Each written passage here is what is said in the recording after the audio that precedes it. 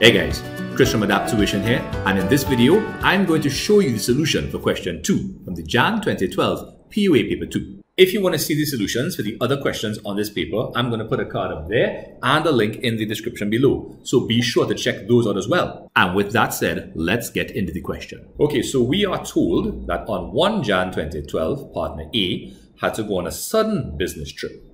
He provided partner B with the following information, including reminders about their partnership agreement. Okay, so we have a big table I'm going to break up into pieces. So the top half of the table, which I'm showing now, shows the capital for partner A and partner B, 60,000, 20,000 respectively.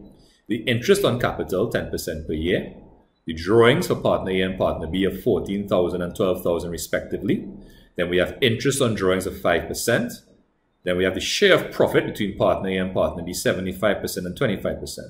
Now you'll notice there's no salaries to the partners, but we'll see. There's the next half of this table. Let's pull it up and we're gonna just kind of highlight it like this. So we have sales, cost of sales, rental revenue, insurance expenses, wages, bonus to employees at year's end, depreciation on office buildings, office supplies, office supplies and stock at year's end, Oh, this is interesting. Oh, I know what has to happen here. Okay, I'll show you. Discounts allowed. Okay. Now, what's the first thing they want us to, to do? They want us to identify three items from the list above that would be found in A and B's partnership agreement. Okay, so that's relatively easy. So we're going to go back up to the first half of the table and we're simply going to pull out the items that will be found in the partnership agreement. So the interest on capital, the interest on drawings, and the profit sharing ratio. Okay, so that's it for part A. Let's take a look at part B. So part B says that they want us to do, or prepare rather, the income statement for the partners for the period ended 31st December 2011. Okay, so we're going to pull up the part of the table with the income statement data. That's this set of items here. And of course, I'm going to pull up my solution on this side. So be sure to edit it properly. A and B partnership, income statement for FYE stands for the year ended 31st December 2011. So we're going to start with the sales of 170. We're going to minus the cost of sales 90. That's going to give us gross profit of 80,000. Now we have rental revenue which we have to add. So 80 and 20 is going to give us 100,000. Now we have some expenses. We have insurance of 4,300. We have wages of 28,002. We have bonus to employees at year's end 5,500 depreciation on office buildings, 7,500. Now we have this thing with the office supplies and the office supplies in stock at year's end. So what this is telling us is that we spent 8,100 on office supplies and we still have 2,000 worth of those office supplies left. So it means that we used up 6,100. We are going to put that there. So you see the working 8,100 minus 2,000, 6,100. And the last thing we have is the discounts allowed of 900. So we're going to total up those expenses. It's going to give us a subtotal of 52,500, which we of course are going to subtract from the gross profit, well, after adding rental revenue, and that's going to give us 47,500 for net income. Okay, let's take a look at part C. All right, so part C says to prepare the appropriation account for the period ended 31st December 2011. So let's go up to that section of the table where we had the appropriation account information.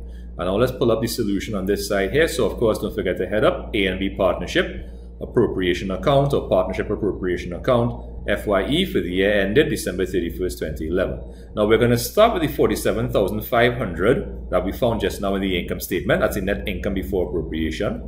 Now the first thing we're going to do is add interest on drawings. So the drawings figures were 14,000 and 12,000 respectively for partner A and B. The interest on those drawings figures was 5% per annum. So all we have to do is multiply 5% by 14,000 for partner A. That's going to give us $700 worth of interest on drawings. And do the same thing for partner B, 5% of these 12,000, which gives us $600. Totaling 700 and 600 gives us 1300, which we're going to add to the 47.5 to get 48,800. And now we're going to deal with the appropriation. Now we only have one item really to appropriate, which is the interest on capital. So that's 10% per year, and the partner's capital balances are 60,000 and 20,000 respectively for A and B. So interest on capital for A will be 10% of that 60,000, which is 6,000, and for B, it's 10% of 20,000, which is 2,000. Totaling 6,000 and 2,000 gives us 8,000, which we then subtract from the 48,800 above to give us 40,800. And we have to share that profit. So you could, call it share of remaining profit, share of residual profit, share of profit after appropriation. So it tells us here in the table that the profit is shared between partner A and partner B 75% and 25% respectively. So all we have to do is find 75% of the 40,800, which is 30,006. 25% would be 10,002. When you add it back up, it matches the 40,008, and we have no more profit left in the appropriation account as it's been all shared to the partners. Okay, I think we have one more part of this question with one mark. Let's take a quick look. Okay, so they're asking us something very interesting here. How much more cash, if any, can partner B withdraw from the business without taking away from his capital? Show your working. Okay, so partner B, we're seeing has drawings of 12,000 already. They also have a capital of 20,000. But to answer this question, we sort of have to do a makeshift calculation based on the current account because the current account will show the partner's earnings and the partner's withdrawals.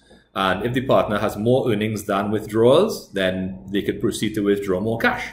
So let's take in the partner's earnings. So the partner's earnings would be found in the appropriation account. And we had two. We had the interest on capital of 2,000 and the share of profit of 10,200, sorry, totaling 12,200 as the total earnings from the partnership. Now, the withdrawals from the partnership, that was the drawings, which was the 12,000 we saw both in the trial balance and above in the appropriation account. And in the appropriation account, we also saw the interest on drawings of $600. So when we add those two figures together, we get 12,006. Now that's already more than the 12,002, the earnings. So the partner's current account is actually in deficit and the partner actually cannot withdraw anymore without reducing their capital. So that was a bit strange because they asked us how much more, if any, can partner B. Okay, they said if any. So that tells us that it's possible the partner cannot withdraw any more. Okay, all right, so that's about it for this question. Okay, guys, so there you have it. That's the solution for question two from the Jan 2012 POA paper two.